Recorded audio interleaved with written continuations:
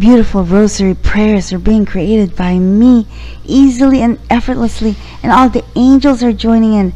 My mom is joining in. Tita Ine is joining in. And we're so happy. Every wonderful, beautiful, lovely spirit are helping us.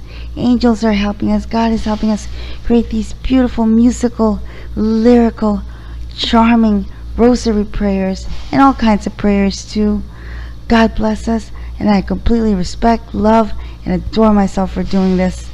I am completely blessed with love, beauty, charm. I am healthy as I do this. I am feeling wonderful as I do this. I'm healing so many people.